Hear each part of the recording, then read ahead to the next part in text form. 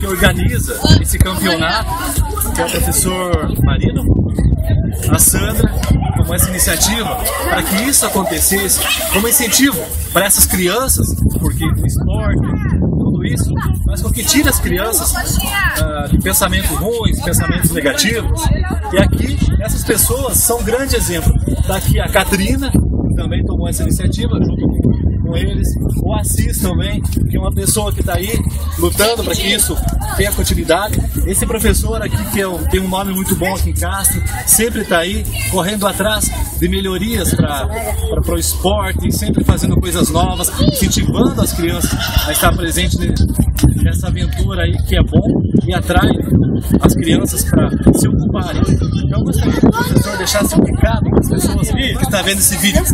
Foi o tempo da espera que tenha não só a ajuda do poder público, mas também da iniciativa privada.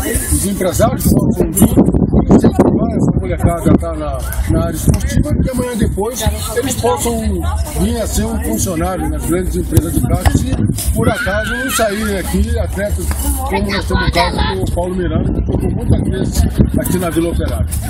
Então, essas pessoas que ajudam a, levar o nome da nossa vila para fora, que a Vila Operária era uma das vilas esquecidas aí do município de Castro, e agora com essas pessoas, com nós aqui abraçando a causa, de levar a Vila Operária para fora, para mostrar que aqui na Vila Operária tem gente de bem, gente boa, gente honesta, que está buscando cada vez mais coisas boas para si. Aqui está esse exemplo dessas pessoas, esse jovem, nosso, nosso agradecimento a essas pessoas aqui, que são exemplo de castrense, que abraçam essa causa da Vila Operária. E a Vila Operária é uma vila aí que, que merece essa atenção, esse carinho.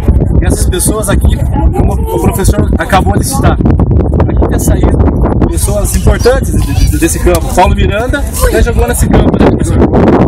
Várias vezes, uma pessoa jogou vários campeonatos, uma pessoa representando o Castro aí, Castro da fora. Talvez ele não seja castrense, né?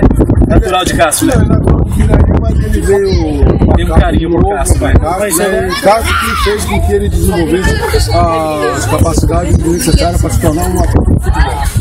Aspecto importante não é só o, o jogador de futebol, mas o ser humano é importante, porque eu já estou aqui na Vila Operária há mais de 20 anos. Né? E daqui, muitas famílias se constituiu dentro da Vila Operária através do esporte. Né? Então, o esporte é saudável para que se possa constituir família. Isso é mais importante. Nós temos aqui o, o próprio Alisson, que está nos filmando, tem o, o Mané,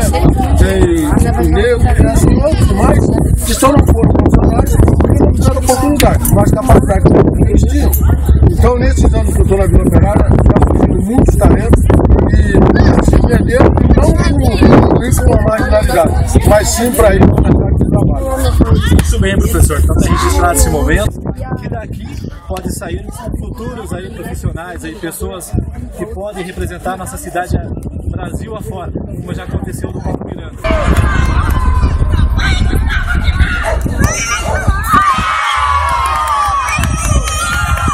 Escanteio para o São Paulo. Thiago Mendes já vai arrumar para fazer a cobrança. Autorizado o Thiago Mendes. Partiu a cobrança lá para a área. Bola vem pelo alto. Toque de cabeça.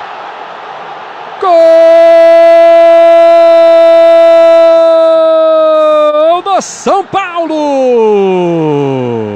É dele.